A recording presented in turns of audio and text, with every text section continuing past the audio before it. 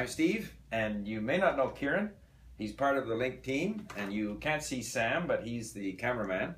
And uh, we're going to try to answer some of the questions that you've sent us on our 90 day challenge. And I hope that you are all working hard on the 90 day challenge. And so we gathered some of the questions. There were a lot of questions. Some of them I've kind of grouped them together, or we've grouped them together.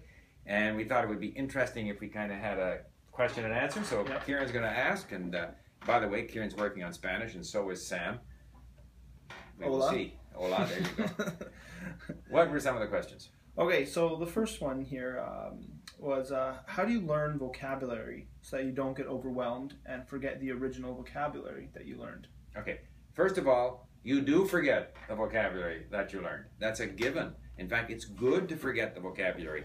If you forget it and relearn it, and forget it again and relearn it, that's how you're going to retain it. So I read and listen, and of course, the first time I come across a new word, I link it. It's now converted to yellow, and then I'll see it again, and I not only do I forget the meaning, I forget that I ever saw the word before. Hmm. And so it's this process of engaging with the content, forgetting, relearning, forgetting, and that's how you learn. So that's really not a problem.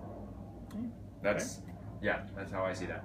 All right, so the second one is where do you find really good starting content for Polish, Japanese, Mandarin, German, and Korean? Okay, these were obviously five different questions that I received. It started with Polish. A number of Polish people told me uh, that I shouldn't do this Mendel Gdański, that it's a 19th century novel and it's not very good. And I must admit, it was very difficult. So I was happy to get off that. I discovered in our library we had some content from real Polish.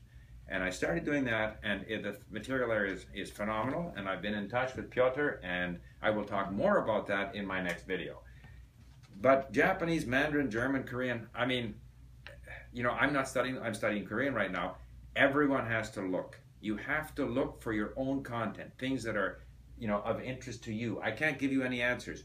Uh, Korean, I searched some podcasts, which I had, uh, you know, transcribed. Uh, part of language learning is being an explorer. and you have to find your own resources.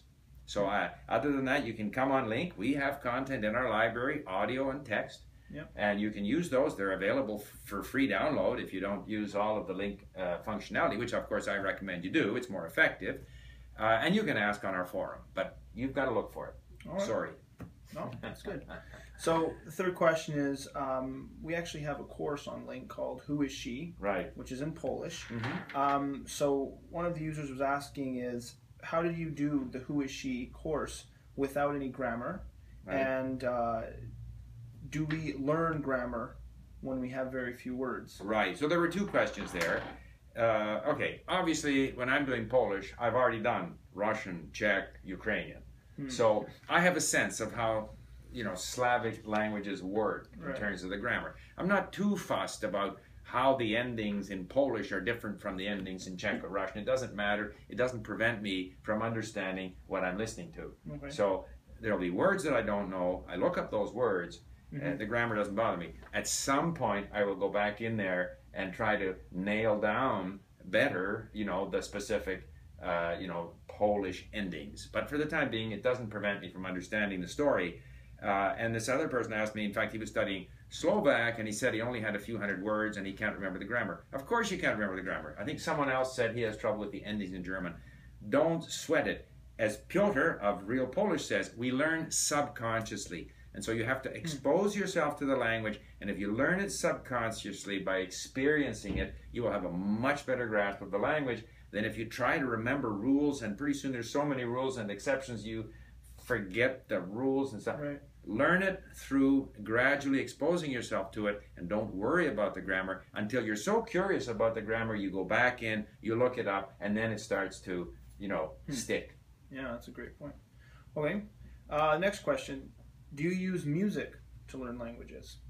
people often people ask me that the answer is no uh, first of all not the music. I presume they mean the words of songs. Right. if you are like the key in language learning is content. Content is king. If you're interested in songs that's a great way to learn because then you start singing the songs and so Mm. forth. I just am not that interested. I'm interested in other things. so whatever you're interested in go for it. Content is king or queen. Okay. Um, next question. What is your daily language learning routine, and how much time does one need to spend a day learning the language? You know, there is no rule. I think if you're serious, you should spend an hour a day, at least. And but there's no upper limit. Mhm. And and that's what I do. But seventy percent of that is listening because I can listen in my car. I can listen while preparing breakfast. I can listen all kinds of you know Right. different places. So listening is seventy five percent of it. Uh, I don't really have a routine. Again, I like to do what I feel like doing. So uh, I might uh, get on my. I have a stepper at home. I get Okay. on with my iPad and I read through an, uh, uh, uh, you know a lesson in in iLink on my iPad. Uh, then if I follow after the stepper, I might lift a few weights. Then I'll be listening while I'm doing that. Okay. Uh, so it all adds up. I grab some time here, some time there. I, I, there is no routine. All right.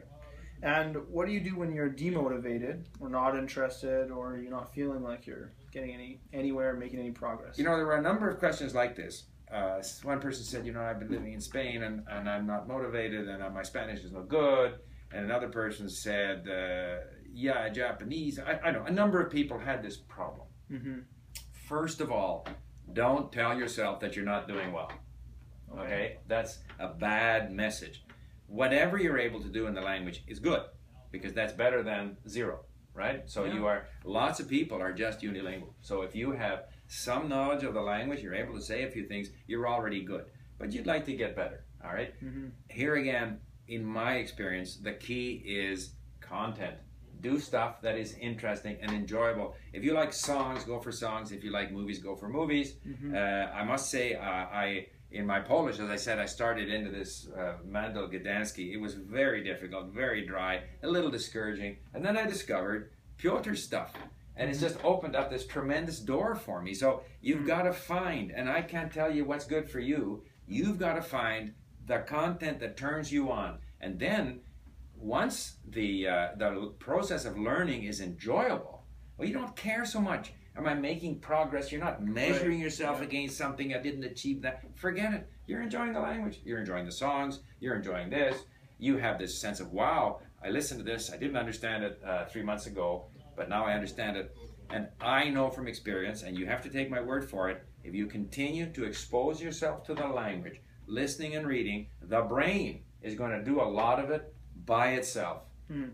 I- we can in next week over the next few weeks I'll talk about talk to you about things that you can do to help your brain along but the brain is going to learn as long as you keep enjoying the language That's good. Very good. All right. Last question. How do you avoid translating into your own language? you can't at least initially but again because the whole process is one of the brain getting used to the language Mhm. if you do this naturally subconsciously as Piotr says in, in, in Warsaw there uh, gradually the brain will start seeing the text in the target language as meaning Okay. directly. It won't need to translate, but it's a gradual process. Initially, you're translating almost all of it, and then your uh, certain phrases now automatically have meaning in the target language, and then this just becomes a larger and larger percentage of, of what you're dealing with. So again, uh, I, I think I did videos about being patient. Don't get impatient. You know, I'm still translating. Yeah, you're still translating. Keep going, and you'll translate less and less, and more of it will be instant meaning in the target language. All right. Okay, we went beyond the two minutes, I think, but Well, there you go. There's a lot of If I questions. get a lot of questions, I'm going to talk a little bit longer. So, just to finish off here, keep sending your questions in. Once a week, I answer questions, and uh, I'll do another video where I will talk about my experiences and, and uh, some of the things that I'm discovering Yeah. on the 90 Day Challenge.